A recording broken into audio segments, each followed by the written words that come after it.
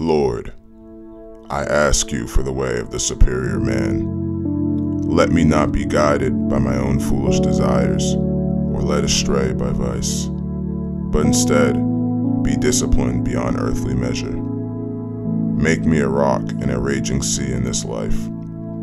If I am to take my leave, make me as such in the next life. Remove my impulsivities and ground my thinking. Make my ears, eyes, and heart open to wisdom.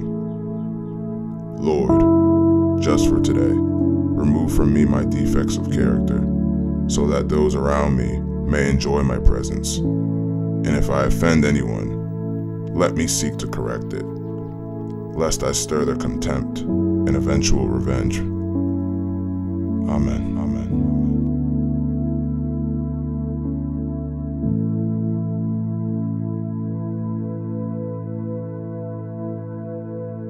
Amen.